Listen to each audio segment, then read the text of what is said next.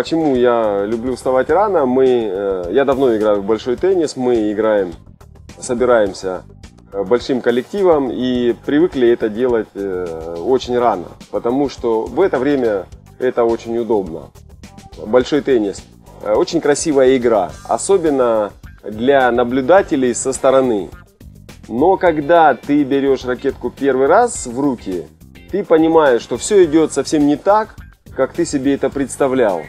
Мячик летит не туда, ракетка не туда, ты двигаешься совершенно не так, как эти парни, профессионалы, как этот Рафаэль Надаль или как Роджер Федерер.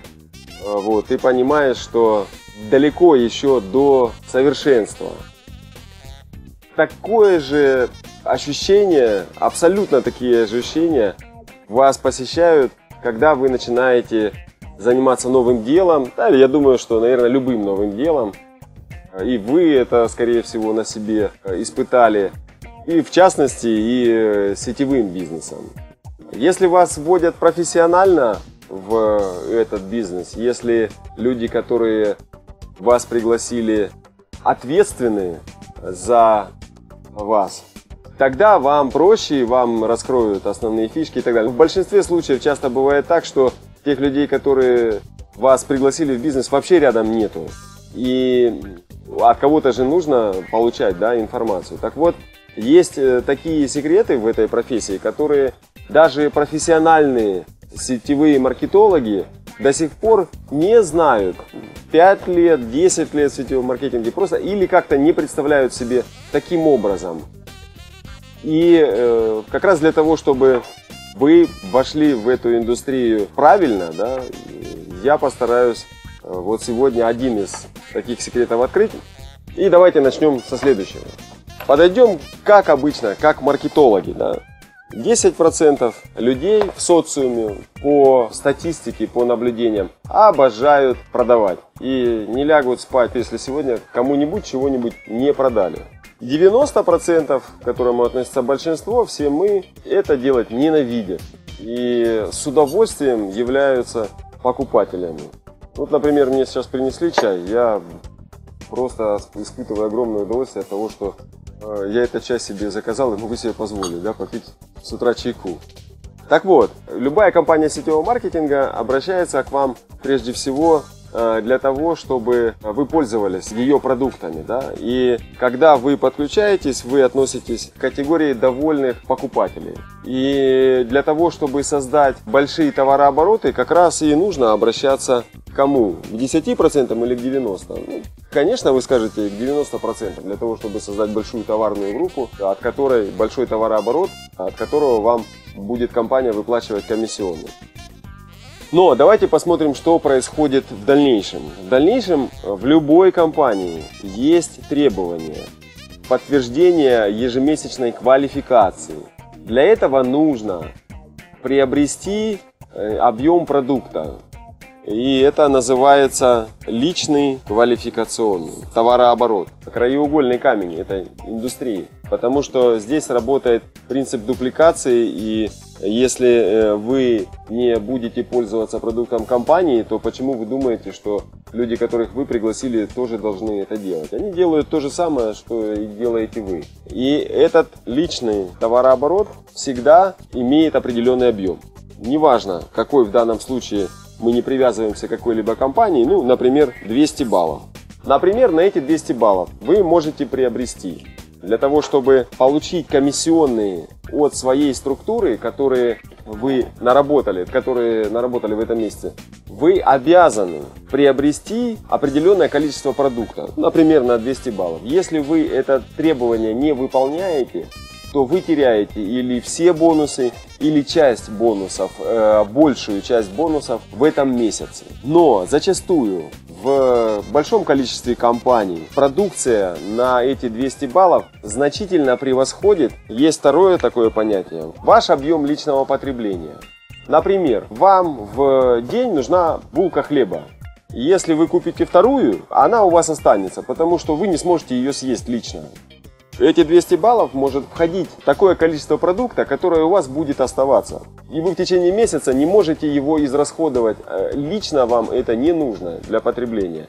А в следующем месяце вам опять нужно приобрести продукт на сумму 200 баллов, потому что только в этом случае компания вам выплатит все комиссионные от вашей структуры. Таким образом, получается, что вы в течение года, вкладывая, инвестируя каждый месяц деньги в закупку продукцию, ну, квалификационную свою опцию, вы э, создаете у себя большой запас неизрасходованного продукта. Как правило, он накапливается под кроватью, на полочках там дома, в гараже, э, в тех местах, куда приходят ваши знакомые, в тех местах, куда приходят ваши друзья, ваши родственники. И они начинают хихикать, посмеиваться и так далее. Что как бы, ну как у вас там бизнес там и так далее. А если вы еще начинаете им предлагать этот продукт, то есть друзья приходят к вам на встречу, чтобы по-дружески пообщаться и так далее, они совершенно по-другому настроены. А тут а, вы превращаетесь в такого навязчивого продавца.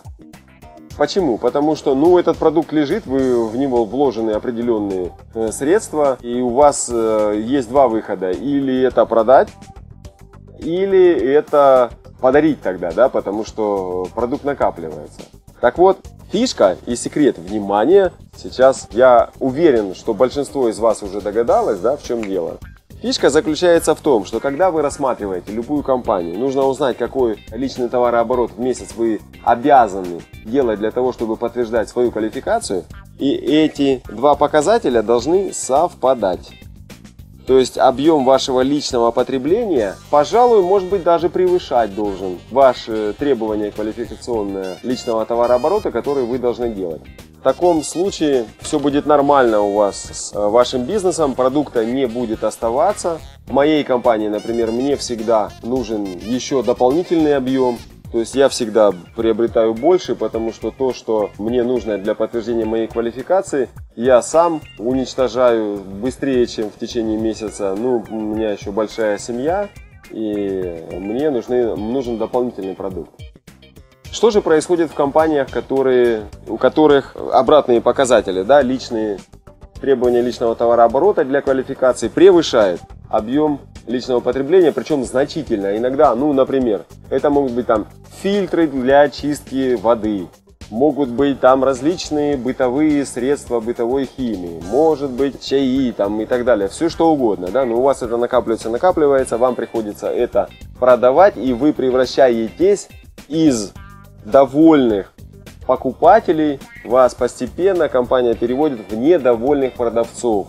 То есть вы ложитесь с головной болью не от того, что вы кому-то сегодня чего-то не продали, а от того, что у вас э, накопленный продукт, вам его некуда девать и чего бы с этим делать. В итоге вы выходите из бизнеса, ваши э, знакомые, ваш круг общения и очень близкий, и тот, который побольше, получают от вас этот сигнал, это негатив, это недовольство, и вы, возможно, скорее всего, вы выходите из бизнеса, вы говорите, что этот бизнес неудачный, это, скажем так, никому не нужно, и сетевой маркетинг, вы не поняли, этот бизнес не очень хорош, и, возможно, скорее всего, вы правы, потому что это ваша точка зрения, и вы имеете на нее право. Но как раз секрет заключается в том, чтобы лучше именно на старте э, разобраться в том, какие квалификационные требования в компании и сможете ли вы им соответствовать.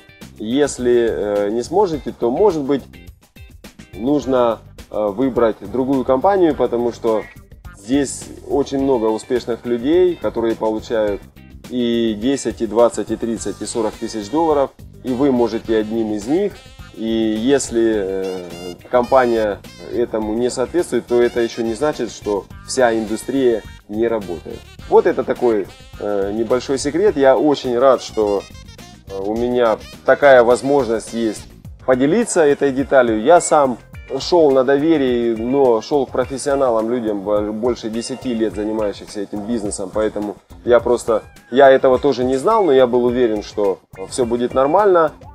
Возможно, не у всех так по жизни складывается, да, что профессионалы приглашают в бизнес, поэтому лучше это сразу узнать, но буквально на первых же встречах я об этом уже знал.